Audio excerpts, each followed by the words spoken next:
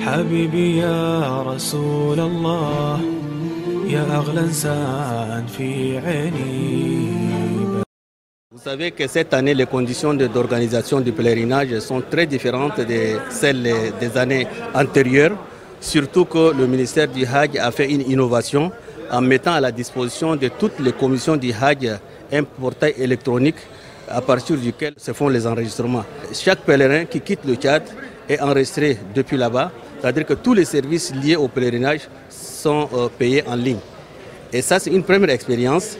Nous félicitons l'équipe euh, de la commission du Hajj qui est euh, à N'Djamena là-bas, qui a mis tout en œuvre pour pouvoir faire cet enregistrement en ligne.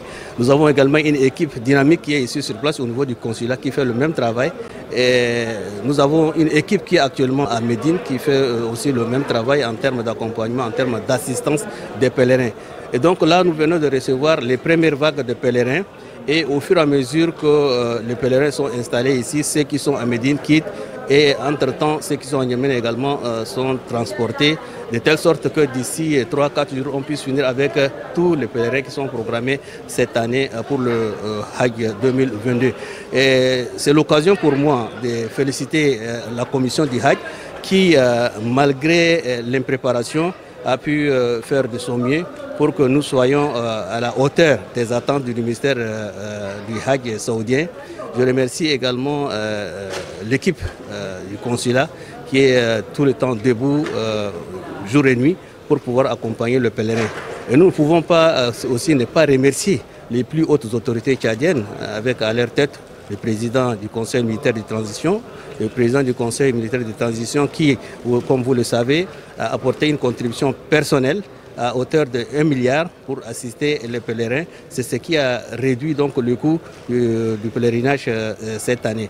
Et bien avant cela, il a également donné des instructions pour régler des dettes antérieures du Tchad dans le cadre du pèlerinage. C'était un montant de 850 millions. Et si seulement ces montants n'étaient pas payés, les, les hajj de cette année n'auraient pas pu avoir lieu. Donc vraiment, nous le remercions infiniment. Et tout à l'heure, comme vous venez de le remarquer, il y a des pèlerins qui ont dit qu'ils ont essayé de faire de la fatia au niveau donc, du, jardin de la mosquée du prophète pour pouvoir demander à Dieu d'accorder longue vie au président de la République et de l'accompagner dans sa mission. Donc pour nous, ça c'est une grande fierté. Et nous souhaitons à tous nos pèlerins un bon pèlerinage cette année. Nous leur disons que nous sommes tout le temps prêts à les accompagner sur tous les lieux de rites. C'est-à-dire que ce soit à la Mecque ici, que ce soit demain à Mina, à Arafat, à Mousdelifa, jusqu'à leur retour. Et donc nous souhaitons vraiment plein succès à l'opération du Hajj 2022 à tout le monde. Merci.